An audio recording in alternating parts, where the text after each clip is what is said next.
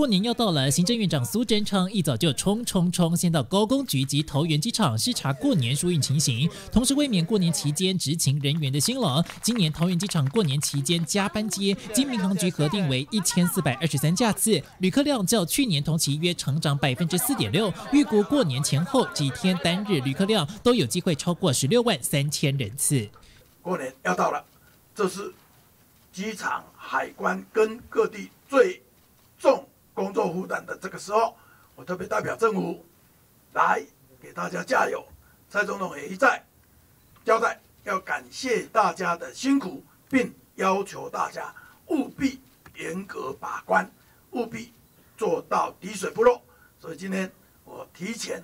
不要到明天后天工作重的时候才来，我特别提前早一点，在你工作还没有进入最严重、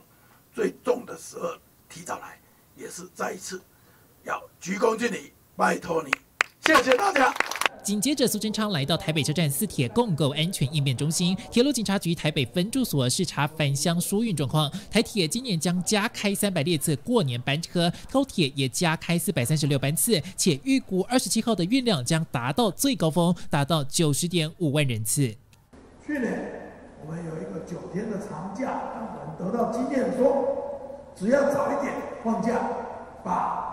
移动的时间拉长一点，就能好一点。所以今年开始，我们就说从小年夜，就是除夕的前一天